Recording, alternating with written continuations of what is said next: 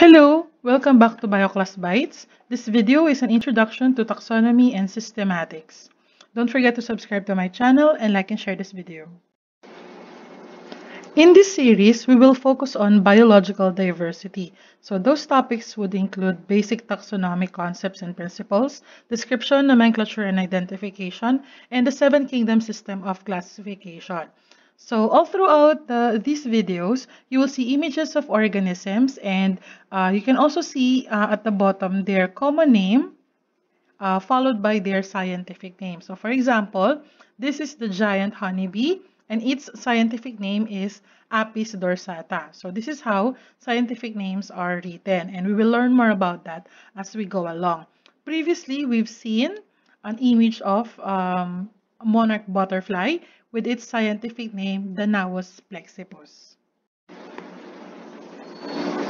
If you check out the online library, you will see there a page dedicated to my favorite organisms. So one of those organisms is the ibex, uh, but shown here specifically is the Nubian ibex with the scientific name Capra nubiana. So now let's visit uh, that page in the online library. So these are my favorite organisms. Okay, so I have two favorite flowering plants, tulip, tulipa, uh, and sunflower helianthus. So you could actually watch the videos found in my online library um, about, about these organisms. My favorite cephalopod is cuttlefish, sepia, okay, and my favorite fish is salmon, Salmo, SP. My favorite amphibian is axolotl, Ambystoma mexicanum, and my favorite reptile is the Komodo dragon, Varanus komodoensis.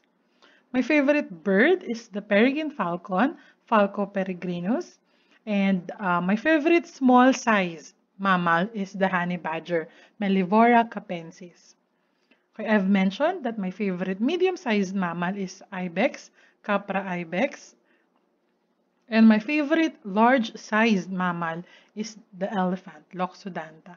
So you could actually watch all these videos, um, all, all uh, interesting uh, videos about my favorite organisms in the online library.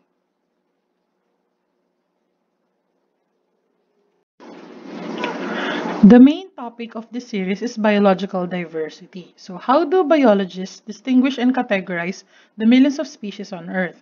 So what they look into are traits shared due to common ancestry. So those are traits that are similar because they descended from a common ancestor. And they use that to classify and organize um, organisms okay, or categorize organisms that reflect their evolutionary history or how they changed over time. So to visualize all those relationship, relationships, uh, biologists used evolutionary trees such as these phylogenetic trees and uh, cladograms. Okay, we will learn more about those as we go along. So, so how how does um how do all of these um are visualized by scientists? So, for example, all these organisms, fish, fishes, frogs, humans, chimps, geckos, snakes, iguanas, and glass lizards, at, at some point in time in the past, all shared a common ancestor. It means that this is their this is what's the ancestor that's common to all of them. Okay, so that this is their uh, most primitive ancestor. Over time, that um, their ancestors uh, evolved into several groups, and all of those give rise to all these different species. But again, they all shared a common ancestor. Um, then eventually, as time goes by, some of them evolve to have a characteristic uh, such as having four limbs. So that one, uh, a hatch mark here, represents a character shared by the groups, okay, to the right of the mark. So, for example, this group evolved to have four limbs. This one did not. So, eventually they become um, the, the different species of um, fish right? But the rest of the four limbs, they are the ones that um, evolved to become frogs, humans, chimps, and the rest. Um, how, and then at this point, this group of organisms evolved to have hair. So those are your humans and chimps and other related uh, groups. At this point, okay, some of this, uh, so, so geckos and the rest of this group had a common ancestor, but the group of snakes evolved to have no limbs uh, and the, the, the, same as uh, glass lizards, okay? While iguanas retain their limbs. So this is how biologists visualize common ancestry uh, as reflected in their evolutionary history. So this is how they categorize, identify, organize, and categorize living things based on their uh, similar traits and common ancestry. So we will learn more about that as we go along. Uh, please note also that chimps and humans form what they call a sister group because they are, the, they are each other's closest relative. To learn more about taxonomy, I recommend that you watch this video from Monkey See entitled What is Taxonomy? I'll provide the link in the description below. This one also is a video from Crash Course, Taxonomy Life's Filing System, again linked in the description below. So the term taxonomy is taken from the ancient Greek word taxis, meaning arrangement, and nomia, meaning method. So arrangement, method. So this is uh, a branch of science um, that focuses on defining and naming groups of biological organisms, again, based on the shared characteristics, based on their shared traits, based on their common ancestor. So this is an image of gorilla, western gorilla, with the scientific name gorilla gorilla. In taxonomy, organisms are grouped together into taxa, so that's plural, singular taxon. And these groups are given taxonomic rank. So organisms with similar structures are grouped together into taxon. And then um, as these groups um, um, becomes bigger, no, they can be clustered to form a bigger group of higher rank. And eventually that creates a taxonomic hierarchy. So this is how it looks like. So groups of organisms into a bigger group, into a bigger group, bigger, bigger, bigger, bigger group. Okay? So the principal ranks in modern use are domain, kingdom, phylum, class, order, family, genus, and species. So by the way, uh, this one is pronounced um, species and it is always written in uh, plural form, always with an S at the end, okay? Even if you're just talking to one group of organisms. So this is an image of a frilled necked lizard with the scientific name of Chlamydosaurus kingi. The resulting biological classification of a particular organism is somewhat similar to postal address, okay, in which you need all the following information to send a letter or a package to that person. So we can actually compare this information to the different uh, taxonomic ranks in the Linnaean uh, classification. So, for example, you want to send a letter to a person, and in our example, in our in our um, uh, comparison, that would be the species Panthera pardus. Okay, or this is the uh, scientific name of a leopard. Okay, so that's the species that we want to send our letter to. So before we, we identify that organism, we have first to know the country, okay, that we are sending that letter to. So in, in our um, comparison, the country, Philippines, the country is similar to the domain, and that's domain Eukarya.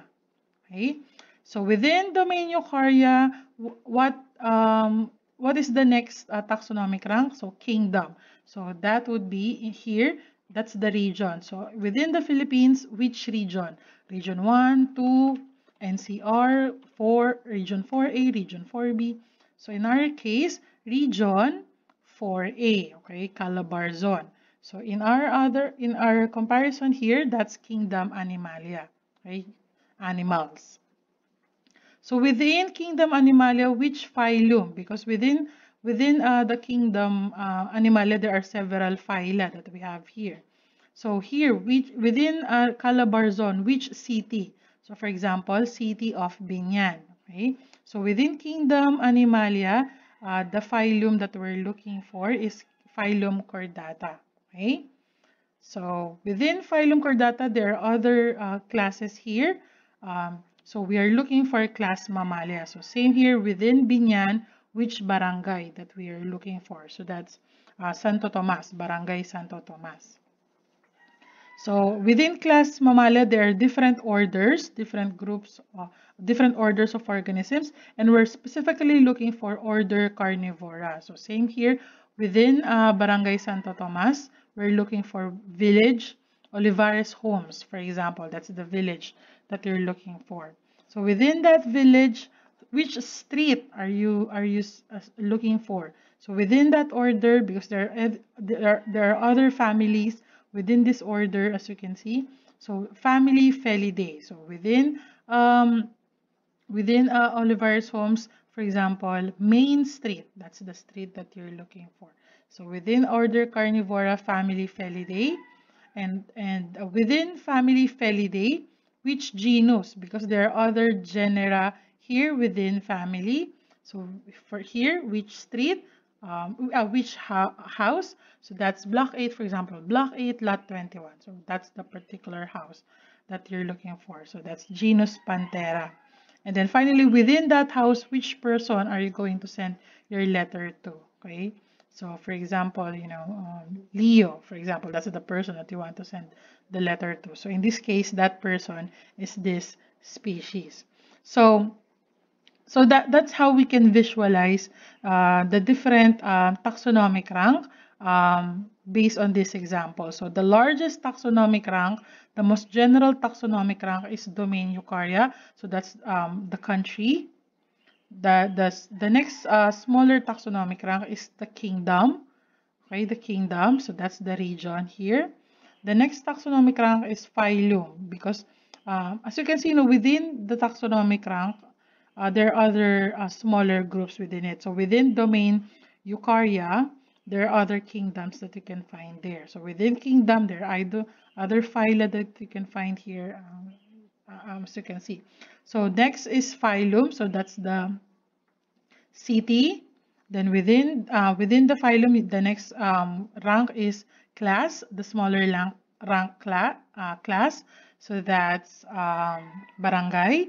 Then after that order, you have the village, family, that's the street, genus, that's the actual house, and then species, that's the specific person.